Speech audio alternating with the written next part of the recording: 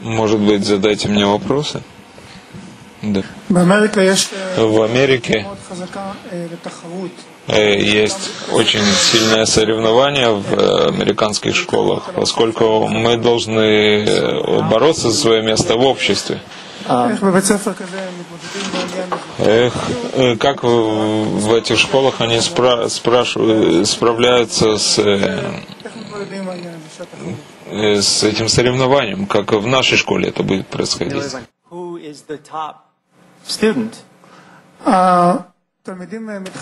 Ученики э, э, соревнуются за хорошие оценки, и тогда они, у них есть конкуренция в других кругах возникает. И ученики конкурируют, чтобы быть самыми лучшими в других школах. Если ты прочтешь статьи о воспитании,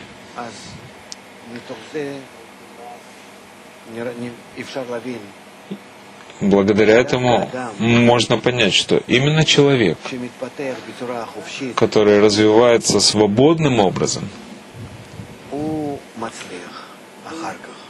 он затем приходит к успеху, как в том, чтобы быть хорошим человеком по отношению к себе, так по отношению к другим, и также к тому, чтобы быть успешным в жизни. Не то, чтобы он получал получил хорошую ставку в Microsoft, поскольку его мозг не является механизмом, недостаточно испортили его в школе. Но я скажу тебе, мы находимся в кризисе, в науке, в воспитании, в культуре, во всем, что делает человек, поскольку мы не формируем человека.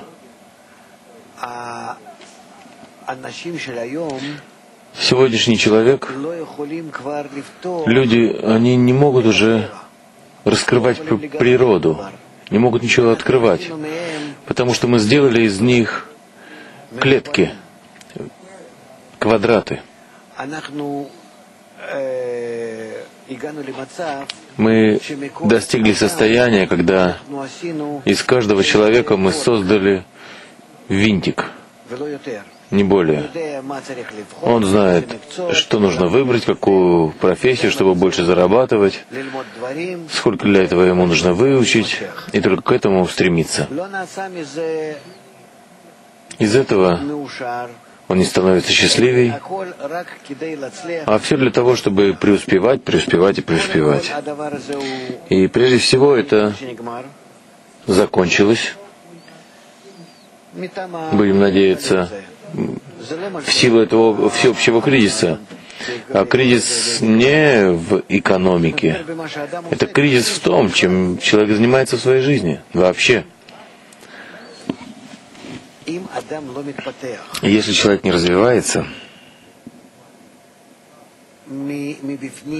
изнутри, изнутри себя, творчески, то затем он не может быть творческим в своей жизни. Он может создать какую-то программу компьютерную, потому что он сам как компьютер. Не более того. Есть много исследователей, исследований в этом. Я не хочу говорить от себя или от науки Каббала. Зайдите в Google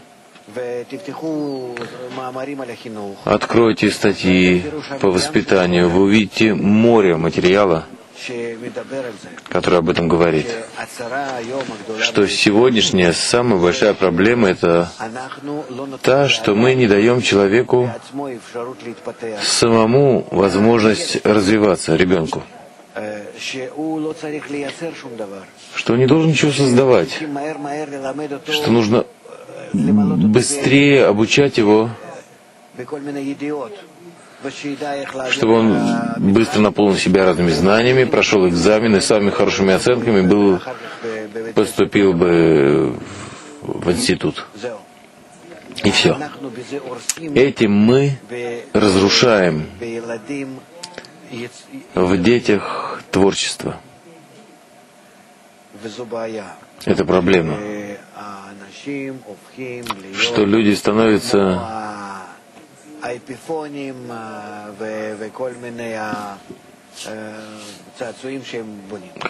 разными айфонами и игрушками, которые они создают.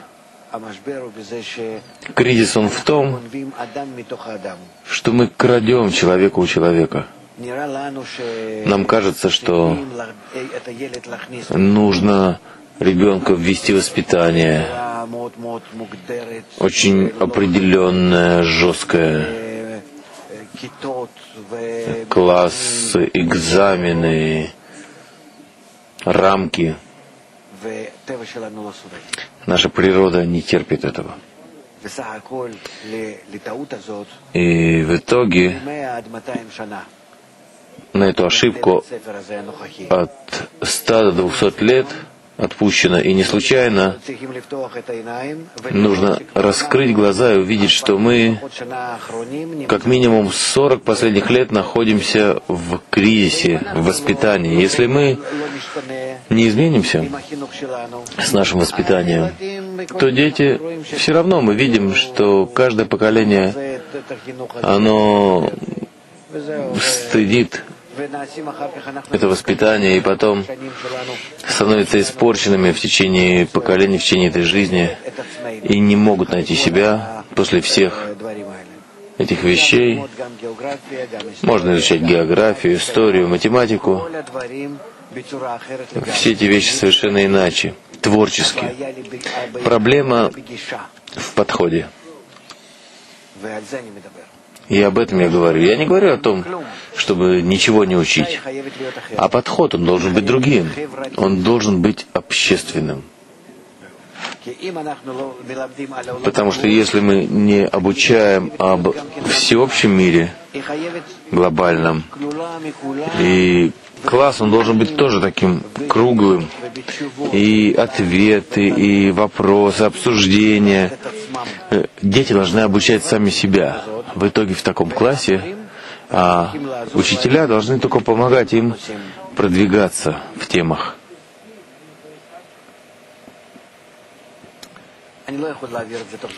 Я не могу передать это в течение короткого времени, но вы прочитаете об этом много, и в итоге человечество начинает понимать, о чем наука Каббала говорит все время. Все эти философии, который изучает ребенок, это в сущности все обсуждения. Этот думает так, этот говорит так, почему это так, почему это оттуда. Это развивает человека таким образом. В форме диалогов, в форме столкновениях во мнениях. А ребенок в классе он не спрашивает. У нас в настоящем классе. Он должен получить это от учителя и все. Главное пройти экзамен. Совершенно обратно тому, что я говорю тебе согласно опыту.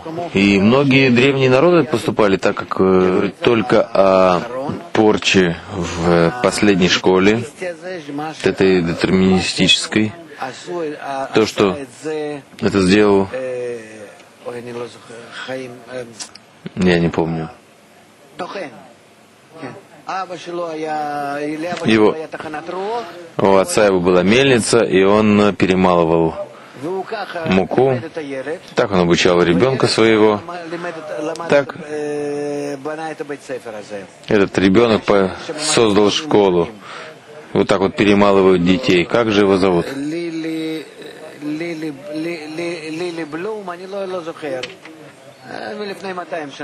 200 лет назад.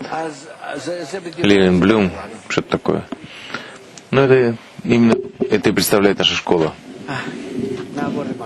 Ладно, перейдем к чему-нибудь другому. Да, мэм.